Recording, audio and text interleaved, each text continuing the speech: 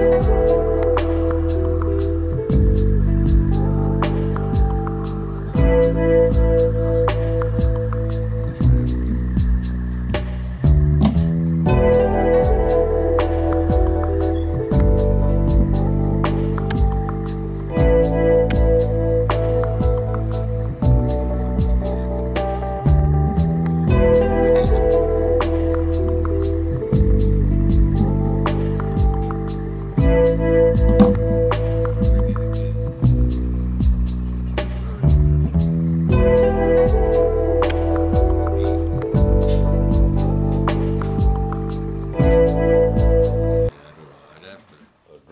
ranger the other night and I had the body all done and I realized I forgot about half the stuff in the tail, so I had to take it all back for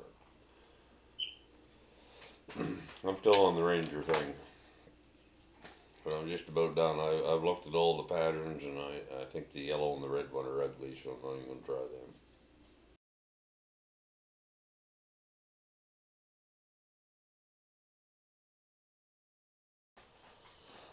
You did the tippet and then that green. I did the regular tippet and then a little bit of red tippet that Walter gave me because he wanted some red. Well, now I'm starting to think maybe you gotta take that out. Well, I'm not taking that out. It probably didn't help matters then. And then I put the rib on and a little bit of green.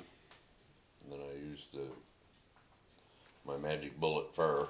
Uh-huh. Dubbing fur. Yep, and I tied the hackle and I wound the hackle through the fur and then I, I wrapped the rib the opposite way. I wra- wound the hackle. So you could either wind the hackle the opposite way or wind the rib the opposite way. It just kind of ties it down if you want to fish fish with it. Yeah. that stuff would be quite brittle, I would think. I had to shorten the body up because you only get a little bit of length of that feather. So I'll be able to kind of get close to the close to the whole body of one feather. So I, I really don't know what I'm gonna call it.